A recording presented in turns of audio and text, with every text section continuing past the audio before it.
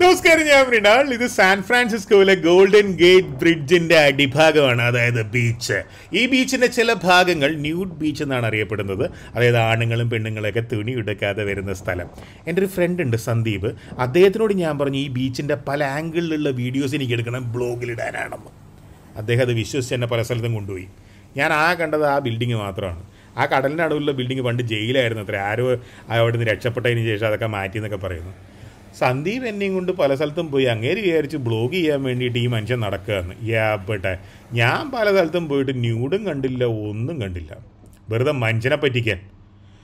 ഹാ അങ്ങനെ കുറേ നടന്ന് നടന്ന് വിഷമിച്ചപ്പോൾ സന്ദീപ് എന്നോട് പറഞ്ഞു പോയി ഭക്ഷണം കഴിക്കാമെന്ന് അങ്ങനെ അവിടെ നീ കടയിൽ വന്നു. ഇവിടെ ബീഫ് ഹോൾസെയിലായിട്ട് ഗ്രില്ല് ചെയ്യണം റോസ്റ്റ് ചെയ്യണം പല പരിപാടികളും ചെയ്യുകയാണ്. ഇവിടെ കോൺ ബീഫ് ഉണ്ട് പാസ്ത്രാമി ഉണ്ട് അതുപോലെ റോസ് ബീഫ് ഉണ്ട്. അതിന്റെ സൈഡ്സ് ഉണ്ട് ഗ്രേവികളുണ്ട് പലതും ഉണ്ട്. അത് റോസ് ബീഫാണ് കോൺ ബീഫും റോസ് ബീഫുമാണ് ഞങ്ങൾ പറഞ്ഞത്. ഈ സൈഡിൽ നിന്ന് ഇത് കാണുമ്പോഴേ ഒരുമാതിരി ചെറിയൊരു തട്ടുകട സെറ്റപ്പ് അല്ലേ എന്ന് നമുക്ക് സംശയം തോന്നിയേക്കും. വലിയൊരു ക്യൂ ഉണ്ട് അവിടെ. ഈ സാധനങ്ങളൊക്കെ ട്രെയിൽ എടുത്തുകൊണ്ട് നമ്മൾ പോകണം പക്ഷെ ഒന്ന് തിരിഞ്ഞാൽ കണ്ട അത്യന്താധുനികമായ ഒരു ബാറ് പോലെയാണ്. എന്തായാലും ഭക്ഷണം കഴിക്കാം. ന്യൂഡോ കണ്ടില്ല. Coleslaw, corned beef, potato salad, roast beef.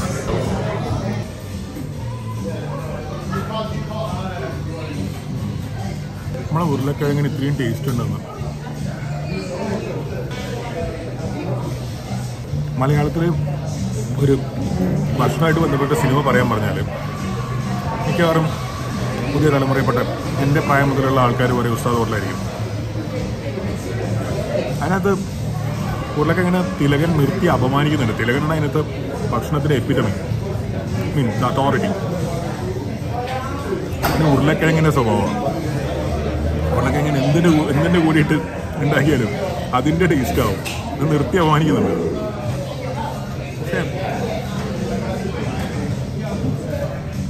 ജർമ്മനിയിൽ പോയിട്ട് റോസ്റ്റ് കഴിക്കുമ്പോൾ ബെൽജിയത്തിലോ ആംസ്റ്റർഡാമിലോ പോയിട്ട് പ്രോപ്പർ ഫ്രൈസ് കഴിക്കുമ്പോൾ ഞാൻ പറയുന്നത് ലോകത്ത് വേറെ എവിടെയും കിട്ടുന്ന ഫ്രൈസ് അല്ല.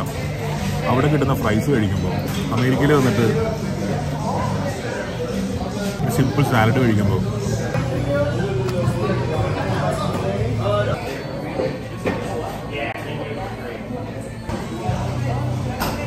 പൊട്ടേറ്റോവിന് വല്ലാത്തൊരു ടേസ്റ്റ്.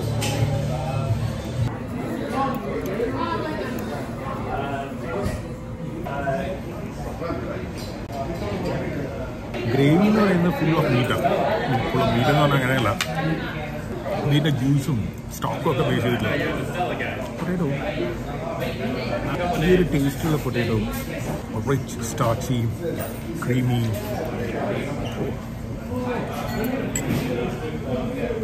യൂറോപ്പിലും അമേരിക്കയിലുള്ള ഷെഫുമാർ പറയും ഇവരൊക്കെ ചൂസ് ചെയ്യുന്നത് ഭയങ്കര പാടാണ്.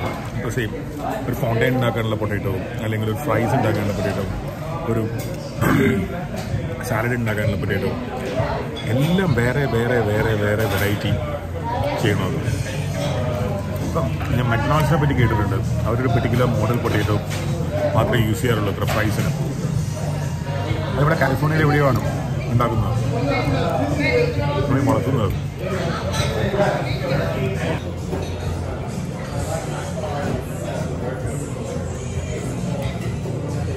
മീറ്റിന്റെ ജ്യൂസ് ഇങ്ങനെ ഉറ്റിക്കൊണ്ടിരിക്കുന്ന ബീഫാണ്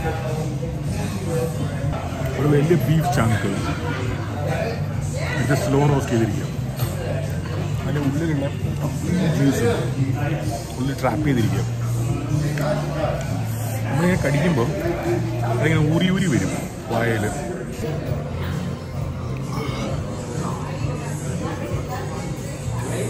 ആഹാ ഇത്രയുണ്ടോ? ആക്ച്വലി കട്ട് ചെയ്തിട്ടേ കഴിക്കാൻ പറ്റുള്ളൂ. ഫോർക്ക് വേണം. ഫോർക്ക് കൂടെ ഉണ്ട് പക്ഷെ എന്തായാലും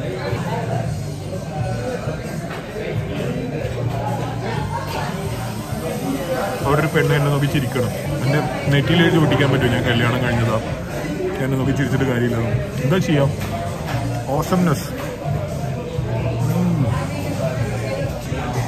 ഇതിൽ ജ്യൂസ് ഉണ്ടല്ലോ. ഇവർ മലയാളിയുടെ എങ്ങനെ പറഞ്ഞു കൊടുക്കുന്നത് അപ്പം ഇത് കഴിച്ചിട്ടില്ലാത്തൊരു മലയാളി. ചിന്തിക്കേണ്ട വിഷയമാണ് അതായത് ജീവിതത്തിൽ ക്രിസ്- ക്രിസ്റ്റഫർ നോലാന്റെ സിനിമ കണ്ടിട്ടില്ലാത്ത ഒരാളുമാണ് ക്രിസ്റ്റഫർ നോലാന്റെ കഥയുടെ സിനിമയുടെ കഥ പറഞ്ഞു കൊടുക്കുന്ന പരിപാടി പോലെയാണ് അല്ലെങ്കിൽ അല്ലെങ്കിൽ ഇങ്ങനെ പറയാം. വളരെ സ്ട്രെയിറ്റ് ഫോർവേഡ് ആയിട്ടുള്ള ഒരാളുണ്ട്.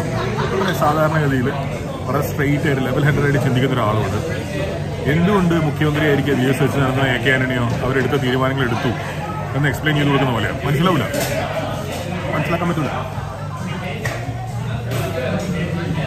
ഞാൻ വിചാരിച്ചു ഈ പൊട്ടേറ്റോ സാലഡിനാണ് കിട്ടുന്ന ടേസ്റ്റ് പക്ഷേ മാഷ് പൊട്ടേറ്റോ കഴിക്കുമ്പോഴാണ് ഇതിനേക്കാളും ടേസ്റ്റ് അതിനാണ് മനസ്സിലായത് ഞങ്ങൾ വന്നപ്പോൾ ഒരു ക്യൂ ഉണ്ടായിരുന്നു. ഇപ്പോഴും അതേ ക്യൂ ഇങ്ങനെ അവിടെ അവിടെ മെയിന്റെയിൻ ചെയ്ത് പോകുന്നുണ്ട്. ഹലോ. ഹായ് ഈ മനുഷ്യൻ ആൻഡമാൻ നിക്കോബാറിൽ ജനിച്ചു വളർന്ന് മലയാളികളായ പാരൻസിന് ആയതുകൊണ്ട് മലയാളം പറയും ചെന്നൈയിൽ പോയതുകൊണ്ട് തമിഴ് പറയും ആൻഡമാനിൽ ജനിച്ചതുകൊണ്ട് ഹിന്ദി പറയും അമേരിക്കയിൽ വന്നുകൊണ്ട് ഇംഗ്ലീഷ് പറയും. പക്ഷെ ബേസിക്കലി തിരുവനന്തപുരം കാരണം അല്ലേ? അങ്ങനെ കോൺ ബീഫ് ഓർഡർ ചെയ്തിട്ടുണ്ട്. ആക്ച്വലി ഇനി പാസ്ത്രാമിയെ നമ്മൾ ഓർഡർ ചെയ്യാനുള്ളൂ. എന്റെ ടെൻഷൻ അതല്ല. ഇതൊക്കെ ആര് തിന്ന് തീർക്കും? വിചാരിക്കുന്ന പോലെ കേട്ടോ. നമ്മുടെ നാട്ടിൽ ഏത് റെസ്റ്റോറന്റിൽ പോയാലും ക്വാണ്ടിറ്റി പോരാ ക്വാണ്ടിറ്റി പോരാ എന്ന് പറയുന്ന ഒരു കൂട്ടുകാരൻ ഉണ്ടാവില്ലേ നമുക്ക്? അങ്ങനെ ഒരു കൂട്ടുകാരനെ ഇവിടെ കൊണ്ടുവരണം അമേരിക്ക കൊണ്ടുവരണം. എന്നിട്ട് ഇതൊക്കെ മേടിച്ചു കൊടുക്കണം. ഇരുന്ന് തീറ്റിക്കണം. ഒരു പോഷൻ പോലും ഇവിടെ കഴിച്ചു തീർക്കാൻ പറ്റില്ല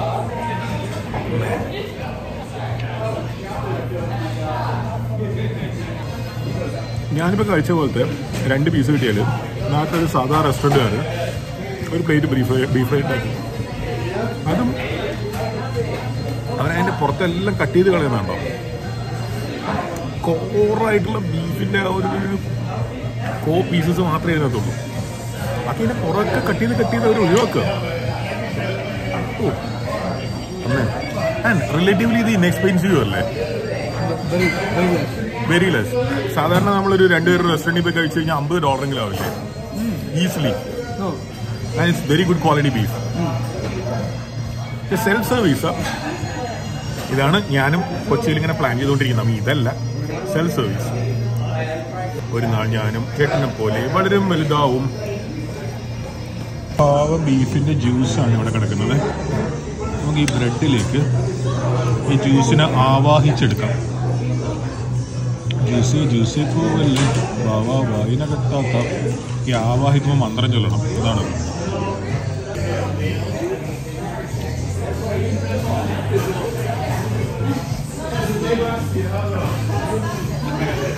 ബീഫ് വേറെ ഒരു സാധനം അതിനകത്തില്ല not even too much spices ഇപ്പം നമ്മുടെ നാട്ടിലൊക്കെ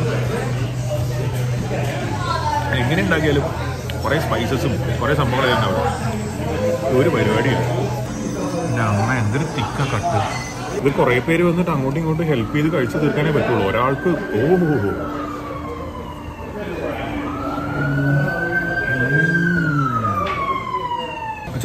ബിറ്റ് സ്വീറ്റ് ശരിക്കും അലിഞ്ഞു പോകുന്ന കൈൻഡ് ഓഫ് ബീഫാണ് ഇവിടെ റോസ് ബീഫ് എന്ന് പറയുമ്പോൾ ബീഫിന്റെ ആ ഒരു ടഫ്നെസ് നമുക്ക് ഫീൽ ചെയ്യും കഴിക്കുമ്പോൾ എന്ന് വെച്ചാൽ ഇങ്ങനെ റബ്ബർ പോലത്തെ നല്ല പക്ഷേ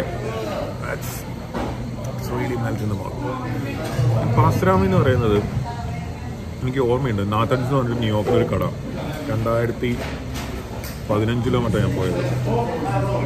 തിൻ സ്ലൈസസ് ബസ്റാമി കട്ട് ചെയ്തിട്ട് ഒരു സാൻഡ്വിച്ച് ഉണ്ടാക്കും വരും ബസ്റാമി സാൻഡ്വിച്ച് അതിന് മുകളിലും താഴെ സാധാരണ ബ്രെഡാണ് വെക്കുക. നമ്മുടെ സാധാരണ ടോസ്റ്റ് ടോസ്റ്റ് ചെയ്യുന്ന bread okay. Oh. Out of the world pastrami ഇത് roast beef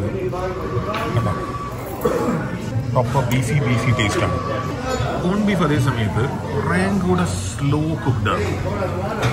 it's melt in the mouth and ഇതിന് വേറെ ഒരു ഫ്ലേവറാണ് കുറേയും കൂടെ സ്ലോ കുക്ക്ഡ് ആയിരുന്നു ഇതിന് പ്രോപ്പർ ബീഫിന്റെ നല്ല ടേസ്റ്റാണ് ഇതിന് കുറേയും കൂടെ റിലാക്സ്ഡ് ആയിട്ടൊരു ടേസ്റ്റാണ് എന്ന് വെച്ചാൽ എങ്ങനെയാ പറയുക ബർഗറിന്റെ ഒരു ടേസ്റ്റ് ഇല്ല. ബീഫ് പെട്ടെന്ന് കുക്ക് ചെയ്യുമ്പോൾ അതിൽ നമുക്ക് കുറേ കൂടെ ഒരു കുത്ത് കിട്ടും ബീഫിന്റെ ഇതിൽ തീരെ കുറവാണ്.